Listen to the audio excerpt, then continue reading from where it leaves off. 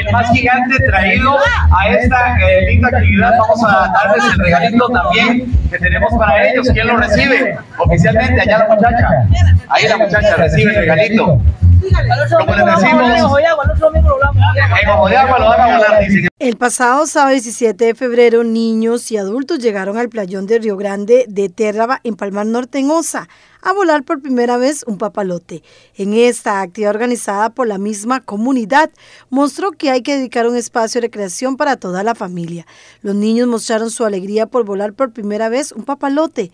Algunos recordaron su infancia y ahora disfrutaron de poder volar un papalote con sus hijos. 15 días aproximadamente.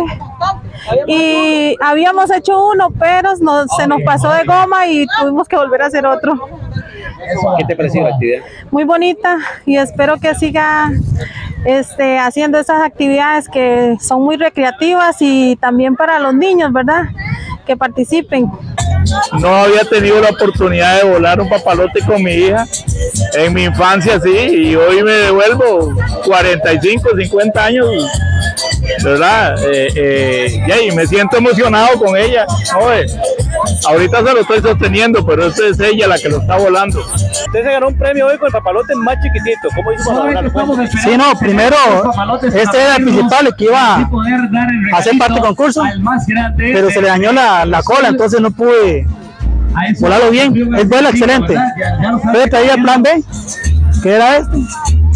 Este, pues ya verás que sí, gracias a Dios. Recordarles para el día de mañana. bastante bien a partir de las 9 de la mañana en la idea era volar, pista de motocross las esferas. realmente. Por la entrada al basurero en la premio, Murillo. ¿Qué te parece Habrá también excelente, lástima tanta discordia por, por el evento y todo, pero bueno, es contradictorio. Eh, más no cuenta, no cuenta con algo para eh, recrear con los eh, niños, con los padres.